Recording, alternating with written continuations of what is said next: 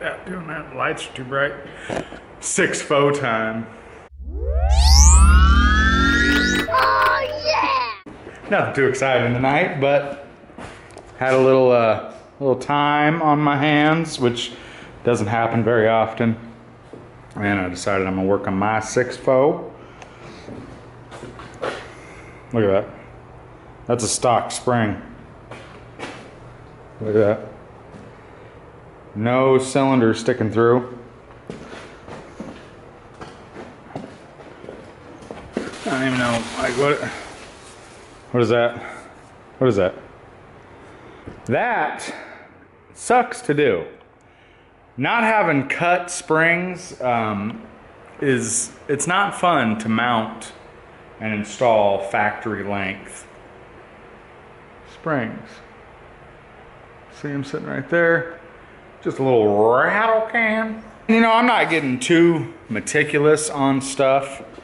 Um, but I'm I'm trying to do what I can where I can. So uh, I bagged up all the bolts, you know, like you should, and I went to the hardware store and got some similar nuts and bolts. I don't know why some of these are green. Um, these are grade 8, but they're blue. So I got something similar to them, and I'm going to run those instead of trying to reuse the old hardware. Seems to be going in a lot easier. But like I said, I'm not not getting too picky. It's my six foe, and if you want to complain about it, the door's in the same spot. It's always been. Okay, let's start off with the lower control arm, shall we? What I've learned with all this is a factory build is super simple. I mean, it's building one of these is pretty simple.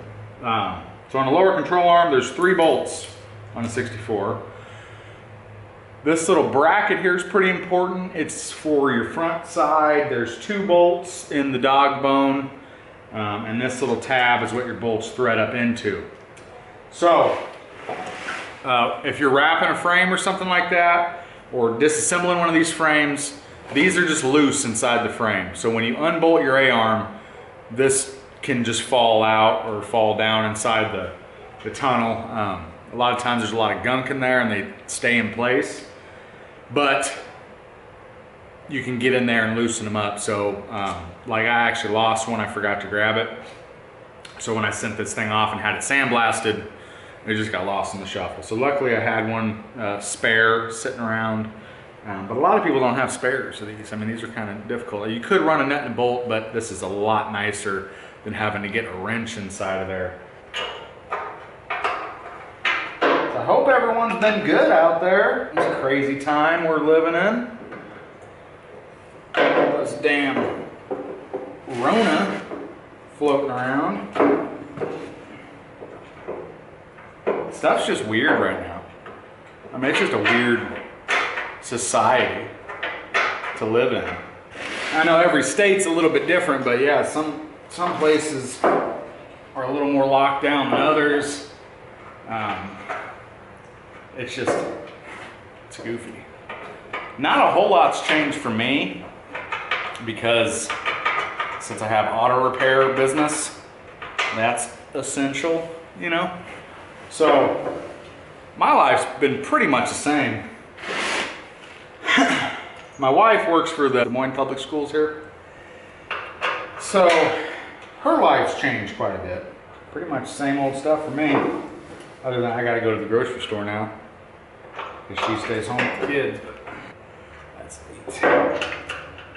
For anybody that wrenches on cars, when you're failing in a simple task like just threading a bolt into a threaded hole, it makes you question whether or not you should be in this.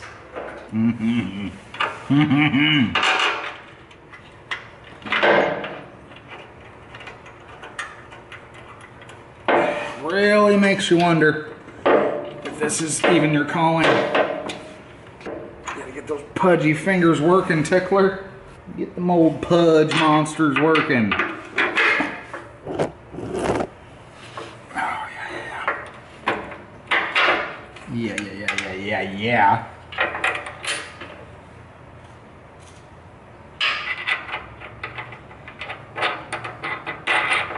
And just as simple as one, two, three, my cat's in a tree. You got a lower control arm on. Another thing is at home I am pretty limited on my tools. Basic set of hand tools. I got all my tools at my shop. So.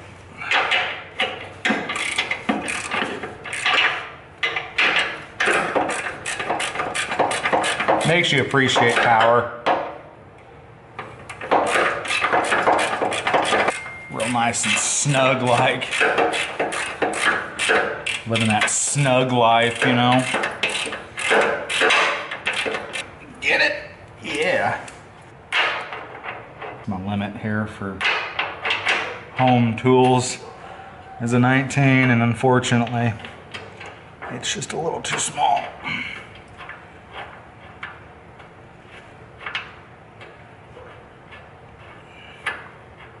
So I'm just gonna run that one up with the old sausage hands and uh, call that good for now. Never guess what's next. Right, it's not good like that. Which way is the bolt going, guys? I'm not perfect. Okay. I think some people are under the impression that I'm I'm perfect. And I'm not. Ask raw free.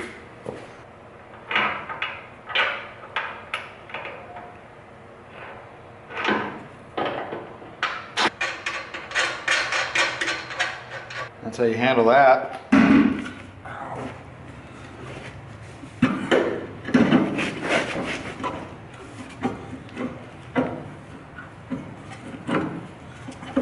this is where it starts to kind of suck because everything gets heavy. Springtime. Hey! Welcome to the lap area. You, you've probably seen one of these before if you haven't. You're a lucky man.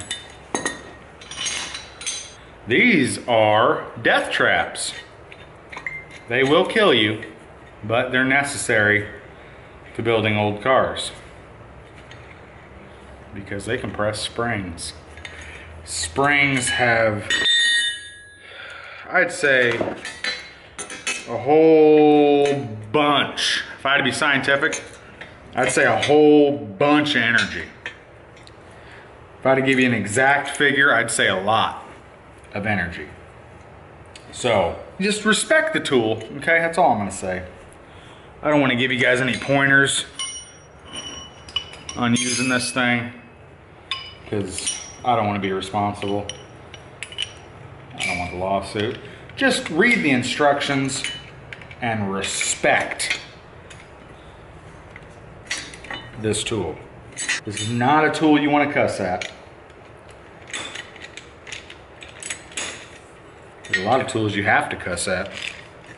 This is one you just want to talk real sweet to. It's all right, baby. We're going to get through this. You're not going to kill me today. But it's it's 2020 now, people. You know? It's 2020 and we're still we're still doing this.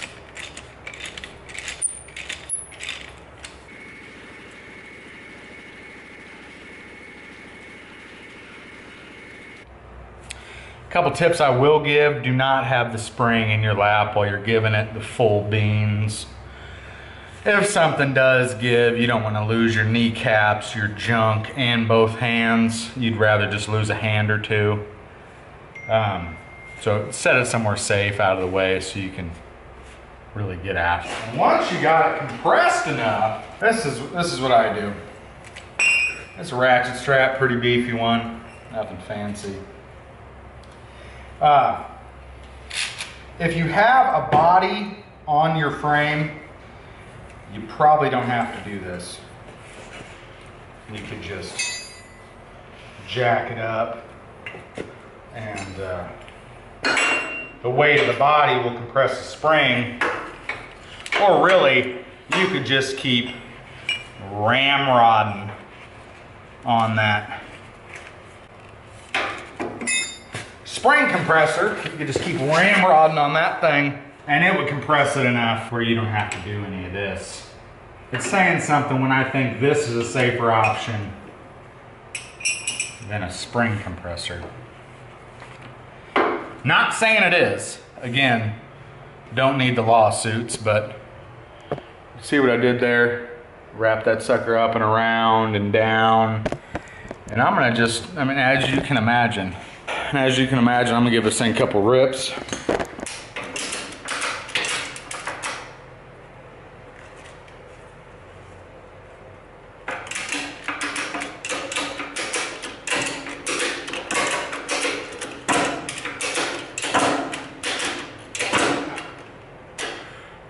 As you can see, I'm a beast of a man. No, really, the ratchet strap makes it pretty easy. Um, yeah. I'm just gonna keep going.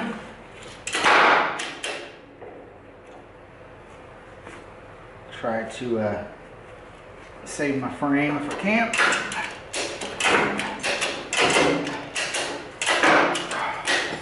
See where we're at here. Almost.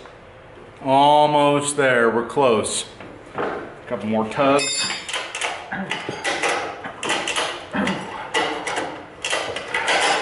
Sometimes you just want to ride the lightning, you know.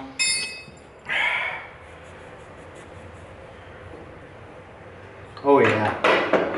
We're full penetration. Slipped out. I slipped out. That's a full penetrator right there. Got her real deep. All right.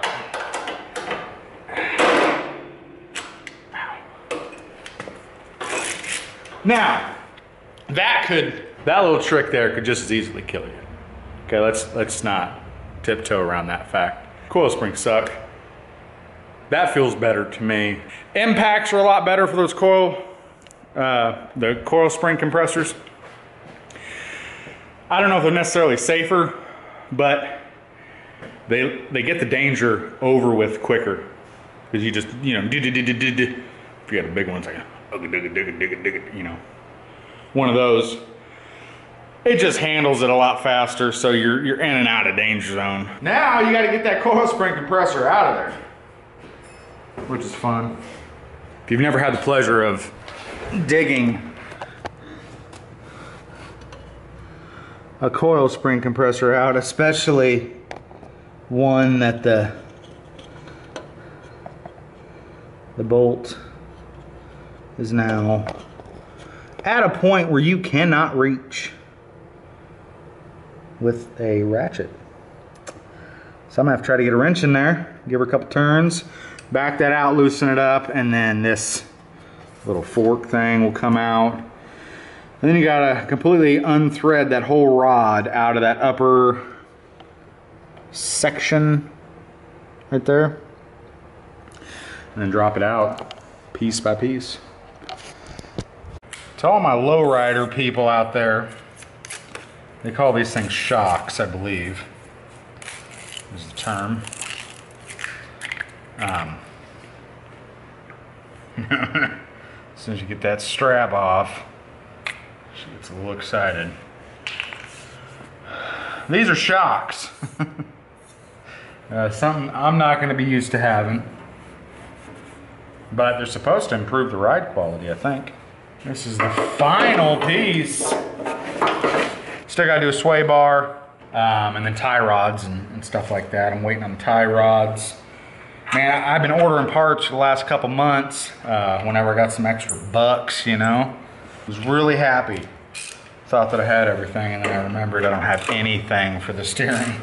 Forgot all about steering. You gotta be able to turn. So had to order some tie rods, inner and outer, new adjuster sleeves, and those aren't super cheap for these things. Um,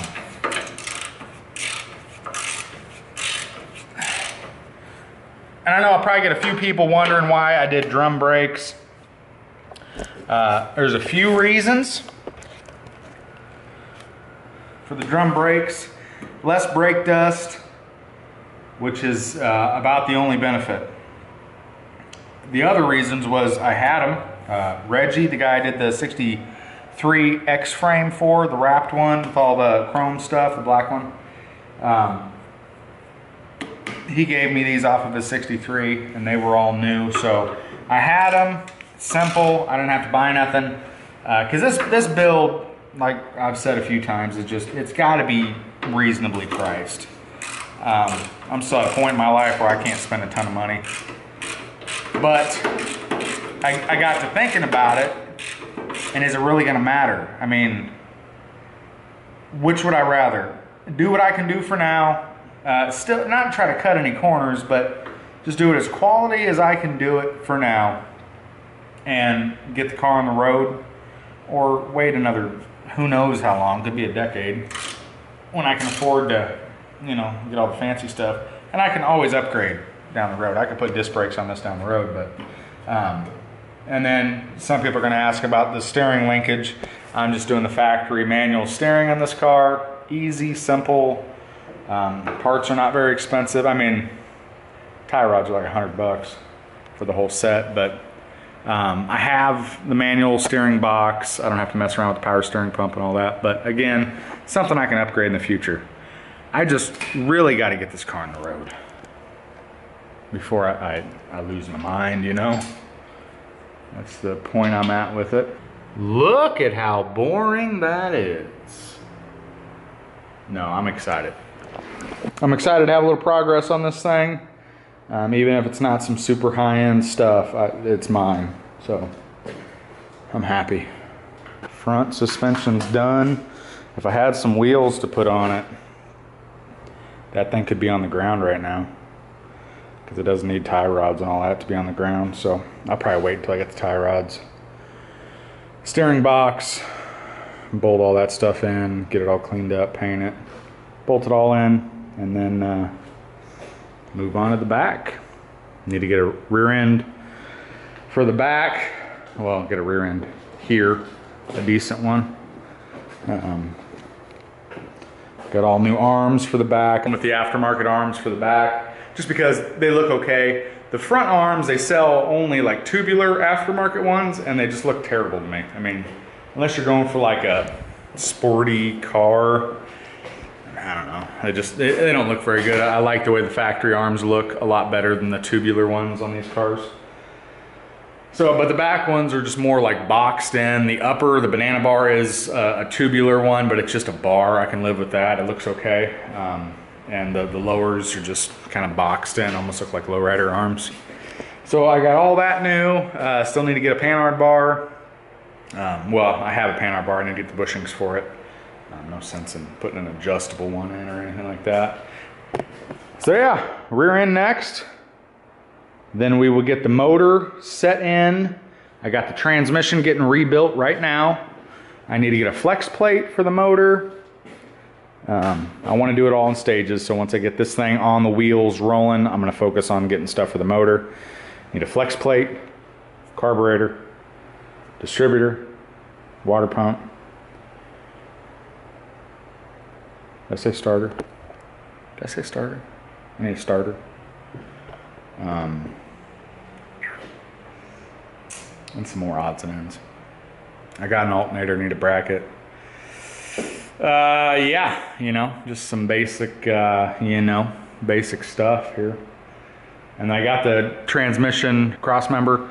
I went with the 700 R4 because I wanted overdrive, want to be able to cruise this thing on the highway pretty easily. So I had to get a swap cross member for that. And yeah, should be able to bolt that sucker in, get it on down the road. And I want to build I want to put the radiator support on, put a radiator in it. I want to get everything done there before I move on to the body. Because the body's going to be a long road. Um, so I kind of want to enjoy this step, this, you know, this process because the body work's just going to be dusty and, and tedious. So I want to get the radiator in it, the radiator support on it, uh, get the motor fired up, listen to it, make sure I don't have any gremlins there Um, oh, exhaust manifolds. I need to get some exhaust manifolds. I do have SS exhaust that came off of the copper 64, uh, Mike's copper 64. So I'm probably gonna run that. Um, I think it'll sound okay with the big block. Just have to probably modify where it mounts up to the headers, but I got it. Might as well try it. Don't sound good, I can replace it. So there it is. Thanks for watching, guys. A Little progress. Feels good to be working on my own stuff.